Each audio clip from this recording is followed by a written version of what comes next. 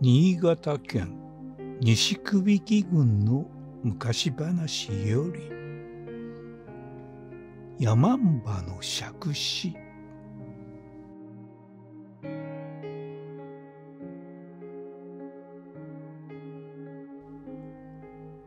大野村に仁九郎という家がある。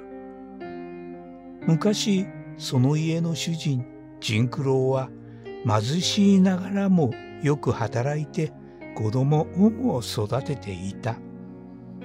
飲料水は他から汲み水をしていたので非常に大切にし飲み水以外は家の前の田から戸湯で水を引いて使っていた。元日の朝凍った戸井からたらたら流れる水で顔を洗っていると飯借子をどこからともなく授かった。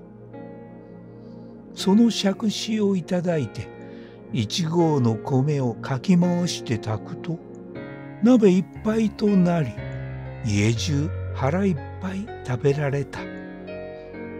その後子供が成長して親を養えるようになったのでその借子は水場の借子差しに刺しておいて使わなかった。年越しの晩には神棚にあげおみきを備え元日の朝には元の水場へ戻した。これが代々続き今では袋に入れて神棚に備えてある。誰にも中を見せない。その家の代々の言い伝えでは万一の場合でなければ使ってはいけない。